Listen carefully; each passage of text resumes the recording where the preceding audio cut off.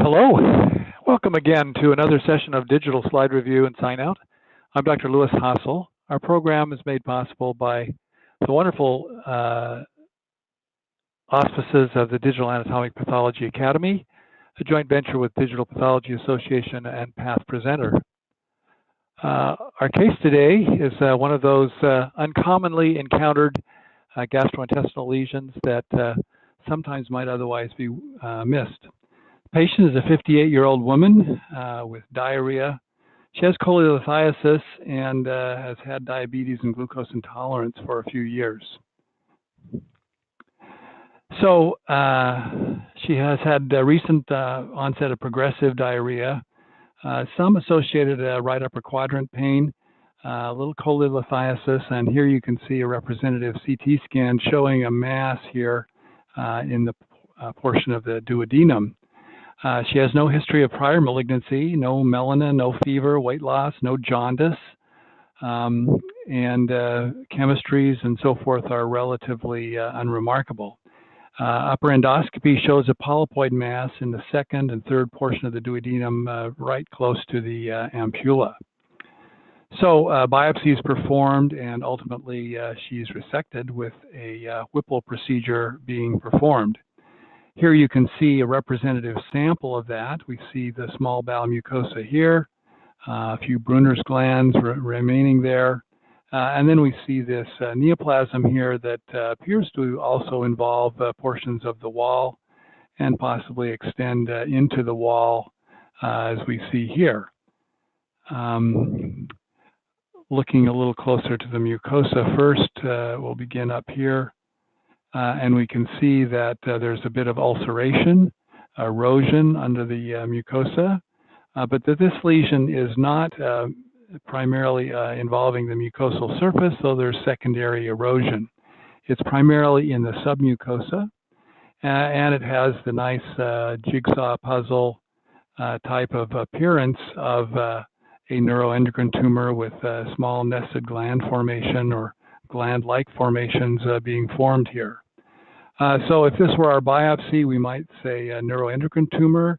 Um, we could see the high magnification view of the nuclei, uh, see these um, nice salt and pepper appearances with a few scattered small uh, um, nucleoli-like structures, uh, uh, maybe masquerading a few chromocenters and so forth. Uh, not uh, much in the way of mitotic figures as we look around. Uh, and so we might say, well, this is just a uh, grade one neuroendocrine tumor. However, as we look a little further, uh, we note that there's something somewhat unique here, and that is the presence of these little inspissated calcifications that are scattered around. We'll take a look a little more closely at these. And here you see uh, one of them here. Here's another over here. There's another one here. Here's several here. Nice little psammomatous type calcifications.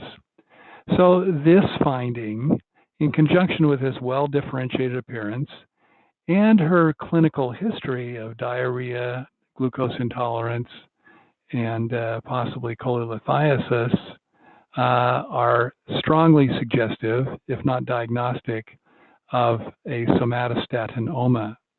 Uh, in this case, it's one that is of good size, and we can see that it here uh, penetrates into the uh, wall and uh, extends actually through the wall. Though again, here we see several of these uh, calcifications uh, within the lesion. So the syndrome of duodenal somatostatinoma is characterized by the clinical syndrome uh, associated with hypersomatostatinemia, uh, with diarrhea, maybe steatorrhea, glucose intolerance, um, and uh, possibly cholelithiasis. Uh, now, most commonly, we'd see somatostatinomas in the pancreas, uh, but in the duodenum, uh, and especially around the ampulla, this appearance is virtually diagnostic when we have this uh, sort of pseudoglandular formation and variable numbers, small or many, of psammoma bodies. Uh, of note, this lesion is uh, occasionally associated with neurofibromatosis type 1. So uh, that's a quick uh, pearl for today. Our final sign out diagnosis is duodenal neuroendocrine tumor, well differentiated, uh, somatostatinoma. Uh, we hope that uh, that's been uh, helpful to you and uh, that the next time you encounter one of these, you'll bring this to mind. In the meantime, please uh, comment, subscribe, share your uh, thoughts, like the video, um, and share it with your friends.